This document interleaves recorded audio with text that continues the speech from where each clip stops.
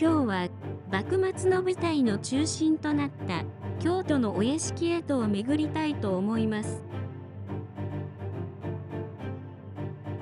京都には多くの藩が京都のお屋敷いわゆる藩邸を置いていました。中には京都市中に3つも4つも藩邸を置いていた大きな藩もありました。しかしこれらの藩邸が参勤交代で使われることはありませんでした。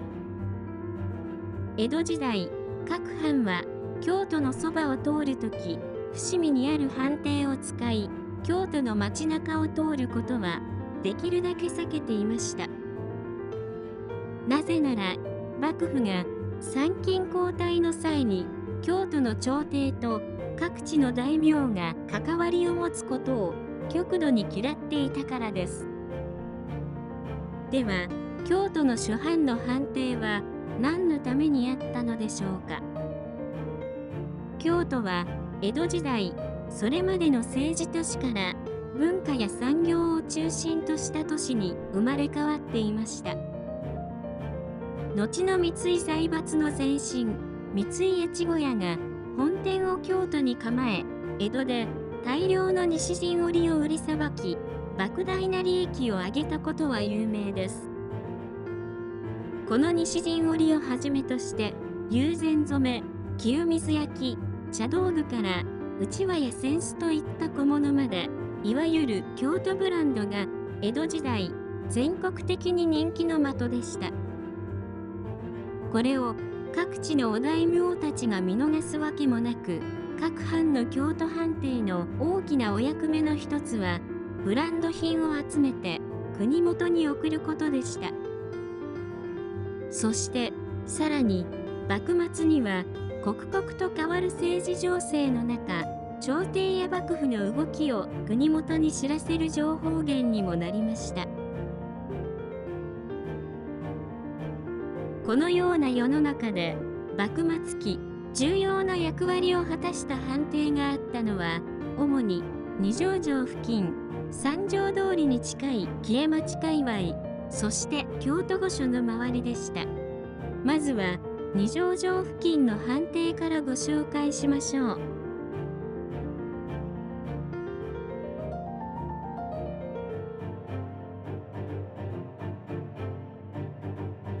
二条城の南側にあったのが小浜藩邸です。ここは幕末一時空き家状態になっていたところを京都にやってきた一橋慶喜後の徳川慶喜が屋敷として使いました。今ではその面影はありませんが当時は二条城の南側から三条通りまで続く大きなお屋敷でした。ここは大河ドラマ「青天を衝け」の主人公渋沢栄一や彼を一橋家に世話をした平岡円四郎らがいたところです。この屋敷の中で渋沢栄一は慶喜からビジネスの才能を認められ後に日本の資本主義の父と呼ばれるようになります。ここはまさに渋沢栄一の原点ともいえる場所です。一橋慶喜は二条城に入るまでこの屋敷で薩摩や長州とのパワーゲームを繰り広げました。やはり徳川幕府生みの親家康が築いた二条城のそばを心強く思い活動の拠点にしたのでしょう。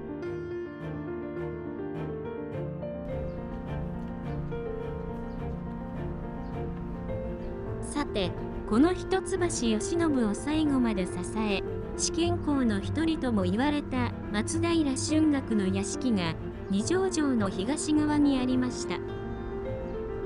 田安徳川家の血を引く松平春岳は14代将軍に慶喜を推したことで大老井伊直輔に睨まれ一時謹慎処分にされたこともありました。もし九大大名たちの横やりがなければ本当は直輔の代わりに春岳が大老職についていたとも言われています。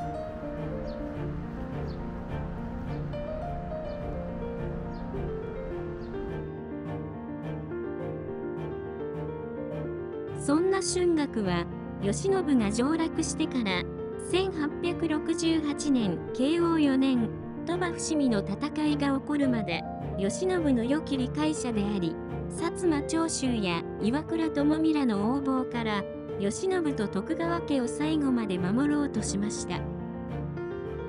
また彼の思想は解明的で初版から時代を先取りする優れた人物を招いてアドバイザーとしました。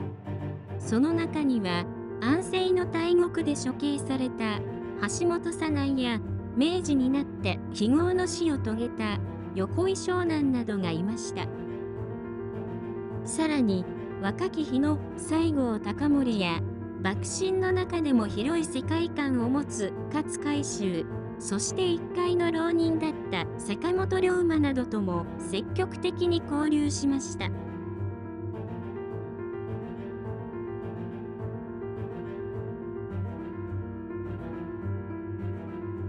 今その春学の屋敷跡は京都を代表するホテルの一つになっています。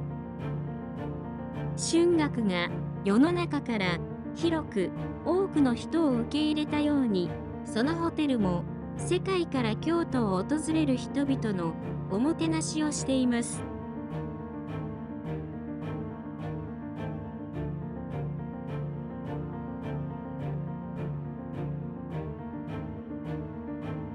今日は二条城に近い大名のお屋敷をご紹介しましたが次回もまた幕末京都お屋敷物語の続きをお話しいたしましょう。